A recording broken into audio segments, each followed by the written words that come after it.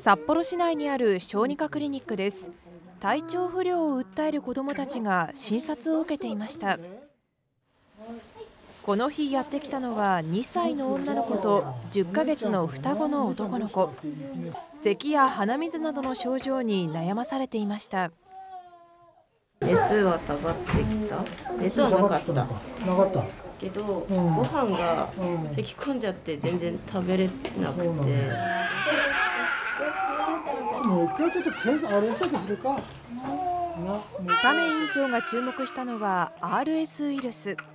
このクリニックでは先月から急増しているといいます。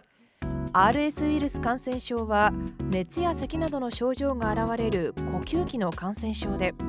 1歳までに半数以上が2歳までにはほとんどの子どもが感染するとされています道によると RS ウイルス感染症の報告者数は先月28日までの1週間では北海道は全国より多い平均2.67人となっていて特に新型コロナウイルスの5類移行の時期から増えています。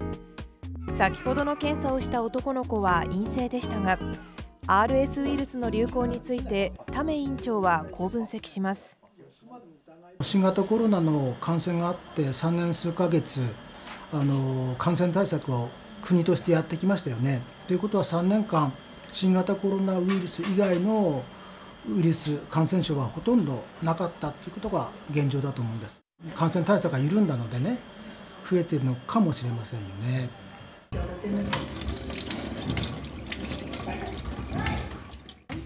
お昼の食事前に入念に手を洗う子どもたち。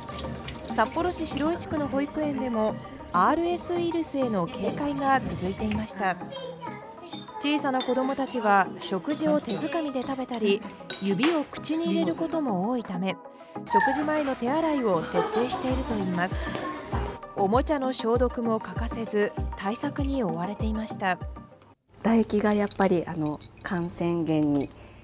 なりやすいかなと思うのでお昼寝の間に、はい、拭いています。やっぱり1人出てしまうと続けて出てしまう恐れがあるので